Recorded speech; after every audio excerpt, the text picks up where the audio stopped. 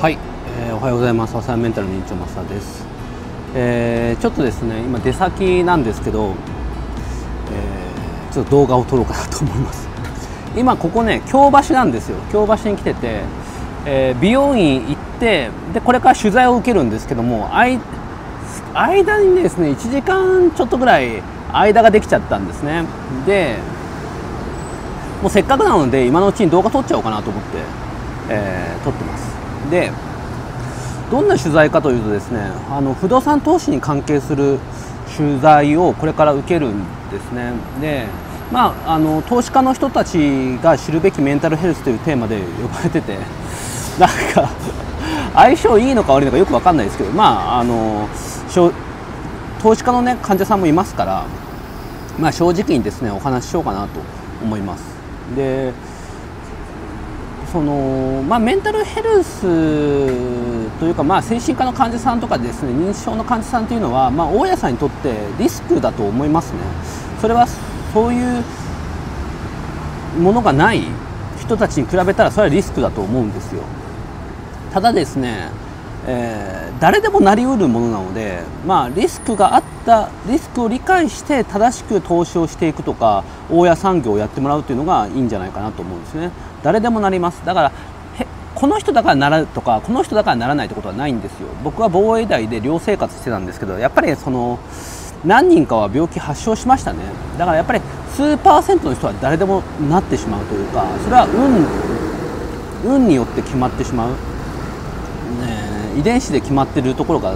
あるので性格いいとか性格が悪いとかそういう話じゃなくて変わってる変わってないとかじゃなくて、まあ、そもそもそういうもんなんですよね。だからそれを理解して正しくその投資をしてもらうっていうのがいいんじゃないかなと思います。で認知症についても同じですね。で、えー、まあそもそも正しく理解するというかそもそも投資っていうものが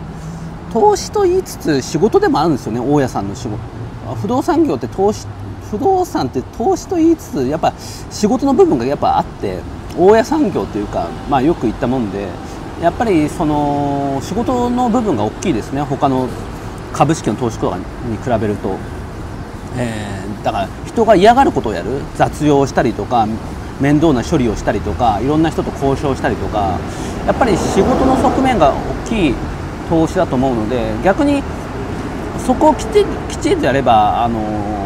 いいっていう投資でもあるし仕事でもあるのでまあ人が嫌がることちょっと億劫だなと思うことをしっかりやっていくっていうのが大事だと思いますね。つまりそれは何かというとメンタル疾患をしっかり学ぶっていうことも、えー、安全に投資をしていくっていう意味では大事なことかなと思います。だからきちんとリスク分散をしてその上で、えー、そういうねメンタルヘルスとかあメンタル疾患とか、えー、認知症の人とかに関わることは絶対起きるので、えー、まあ理解していくってことですかね。うん。えー、まあそれがまあ大事かなと思います。だから、えー、仕事ですからね。人が嫌がることをやるということでしょうか。でじゃあどんな、あのリスクがあるのかってことですけどもまあいろんな疾患があるのでうんまあその全部ね今ここで説明するのは結構難しいんですけどまあなんか困った時にはこの人変な人だと思うんではなくてなんでこんなこと言ってるのかなっていうふうに疑問に思うっていうのが結構大事だと思いますね。だからなんでこの人元気出てないのかなとかやれないのかなってことを、えー、疑ってみる。そうするとあれこれうつ病なのかな？うつ病だから元気が出なくなっている病気？うつ病を発症して元気が出なくなってるからこういうことになってるのかな？元気が出ないからちょっと些細なことイライラしてるのかなと。をも大事だしなんか変なことを言ってる時に妄想が起きてるんじゃないかなと。統合失調症を発症してるかもしれないなとかね、えー、急に元気になったりあと元気になったと思ったら落ち込んでたりすると双極性障害があるんじゃないかなとか、えー、手洗いが頻繁な鍵締め確認が多かったりすると強迫性障害があるんじゃないかなとか、えー、見捨てられ不安とかねなんか人間関係でトラブルが多いとか、えー、好き嫌いが激しかったり急に急にねあの誰々のこと嫌いだって言ったりとかするとやっぱそう境界性パーソナリティ症とかあるんじゃないかなとか、興味に偏りがあったりとか忘れ物が多かったりとかミスが多かったりすると発達障害が上がるんじゃないかなとか、まあ、そういうことを疑うっていうのが大事だと思いますし疑った時にきちんと調べていってどういう病気なんだということを理解していく。一個一個理解していく。でそれに合わせてしっかり対応していくということが大事ですね。で、えー、まあ、何かトラブルがあった時には基本的には警察まあ家族とかそういう人に連絡してきちんと受診してもらうの大事だし、えー、どうしていいかよく分かんない時は保健所に連絡する保健所に聞くっていうのも大事ですね。あとはその警察介入が必要なこともあるんですよ。暴れてしまったりとかね。そういう時にはきちんと警察を呼ぶ。で警察を呼んだ時にもし入院が必要だなって時には措置入院を進める必要があるんですよ。で警察が措置入院っていうものを知らない時があるのでえー、その現場に来た警察官の方に通報してくださいと。で措置入院対応を検討してくださいということをしっかり言うと。で言ったことをしっかり記録に残しておくということも大事かなと思います。で措置入院っていうのがあってですねそれはあの、えー、国が決めたですね、まあ、強制入院なんですよ。だから自傷疑いの恐れがあるときには、えー、精神科の指定2名以上の診察を持って、え、その強制入院することがで可能だっていうねえー、ものがありますからそれをうまく利用しうまく利用するというかそういうことをつなげてきちんと治療してあげるというのが大事ですね。かわいそうですからね病気で苦しんでいるのは、えー、ということかなと。思います。あとは認知症の初期症状をしっかり抑えるというのが大事ですね。だから物忘れだけが認知症じゃなくてやはり元気が出ないっていうのも認知症の初期症状だったりするし、えー物取られる妄想ですね。誰か盗みに入ったんじゃないか盗まれたんじゃないかって訴えてるとあれ認知症が始まったのかなって疑うのも大事だし子供が入ってきたとか、えー、誰かが入ってきてるっていう訴えがあった時にもレビー小体型認知症っていうのは原子がありますから、えー、そういうのを疑ったりとか歩き方が変だな小刻み歩行だなとか体硬くなってきてるなと思ったら認知症を疑うとかね、えー、いろいろありますね。あとは何だろうな。よくあるのはマンションのゴミトラブルですねでゴミを盗んでるんじゃないかとか監視してるんじゃないかとかなんかゴミ場を通じて私のことを覗いてるんじゃないかとかそういうなんかちょっと変なことを言ってたりとか妄想っぽいことを言ってる場合は、えー、やはりその認知症の初期症状を疑ったりするっていうのもあるしまあ高齢初発の統合失調症とかねもありますからそういうものを疑うというのも大事かなと思います。で結局不動産投資って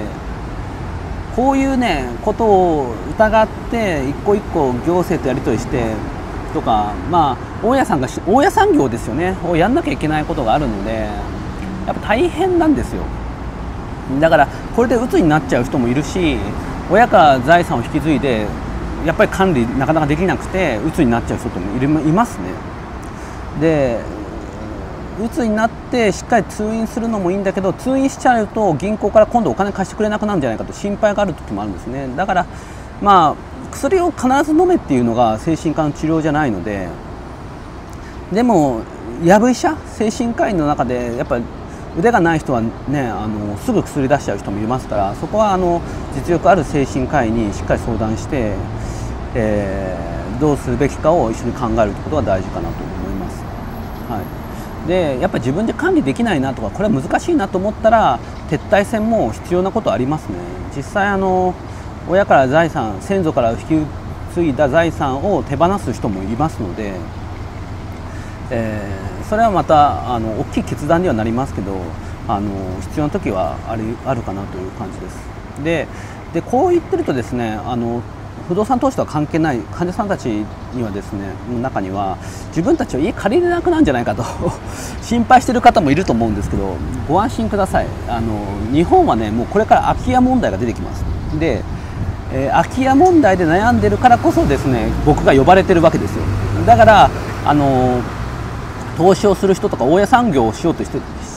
をやろうと思ってる人たちは頭がいいですからこういうリスクを先に学んでいこうと思う思ってるわけですね。だから僕が呼ばれてるわけで、えー、まああのまあなんとかなりますから。だからまああのどちらかというと大家さんたちがねこれから貸せ誰貸す相手がいなくて困るなっていう時代に入ってくるのでまああのそこはご安心くださいという感じですね。なんとかなります。はい。ということであのー、ちょっと短い時間ですけども、えー、動画を撮りました、えー、またね、あの空いた時間ちょこちょここんな感じで動画撮ることもあると思うのでまあ聞き苦しいかもしれないですけど、えー、いろいろねあの見てもらえれば 今後も動画見てもらえればなと思います。というか街中で撮るのちょっと恥ずかしいしちょっと緊張するしなんかうまくやれないですね。はい。じゃあ終わります。ではまた。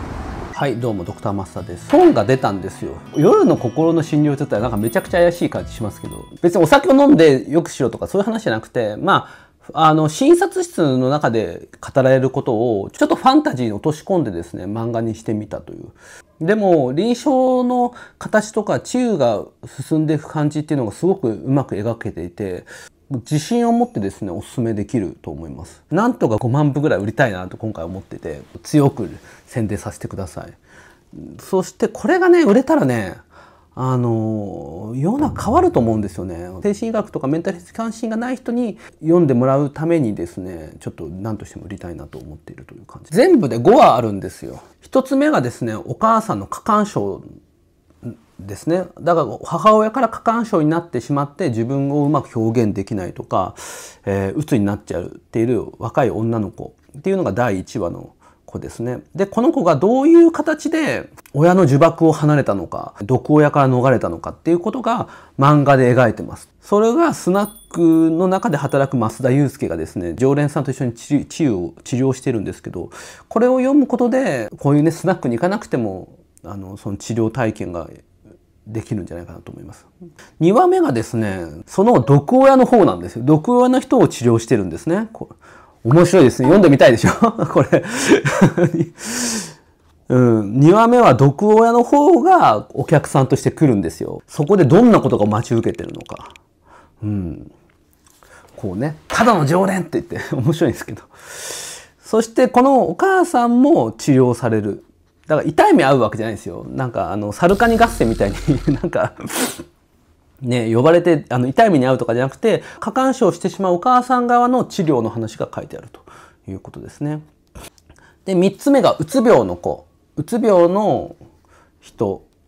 がどうやって治癒していくのかで4話目がですね子供のうつ病なんですよ子供の頃のうつとかを書いてます。ペットロスの時に周りはそんなことでって言われてたけれども自分はすごくこの時に鬱だったっていう話がですね書いてあってペットを失っただけじゃないかっていうふうに抑圧してる人をですねしっかり心を解放していくっていう話になっていてあこれもめちゃくちゃいいなと思いますね。なんていうかな増田祐介の子供の頃のねエピソードも書いてありますね自分自身のこう弱さっていうのも開示していてでも僕が書くわけじゃなくてまあ青山さんが漫画に起こしてくれてるので絵に起こしてくれてるからまあなんかあのナルシスティックな感じはしなくていいですね。はい、あの僕もなんか癒されましたね自分で。うんあとしコラムも僕書いてて思春期の子供をどう育てるのかとか子供のうつをどう治療していくのかってこともちょっとあのエッセイで書いています。で最後が発達障害の問題ですね発達障害なんで増えてるのかとか発達障害グレーゾーンの人はどういう治療すべきなのかとかそういうことも書いている漫画の中で書いていてどういうふうにこう自己授与していくのかってことを漫画の中で落とし込んでるし、えー、増田祐介もですね発達障害の治療についてちょっとエッセイを書いてます。で過剰診断なんじゃないかとかそういう今の社会問題にもちょっと切り口切り込んでるって感じですね。あのちなみにですねあの両ハムさんも出演してます。漫画の中で。クスッと笑えると思いますね。なんかこの、この感じ。まあ、打倒シュリンク、打倒弱いみたいな。精神科医がね、ここまでがっつり入った漫画って多分世界初かもしれないので、ぜひ読んでほしいなというふうに思いますね。うん。ぜひですね、第3弾も出したいですし、ので、皆さん買っていただけたらと思います。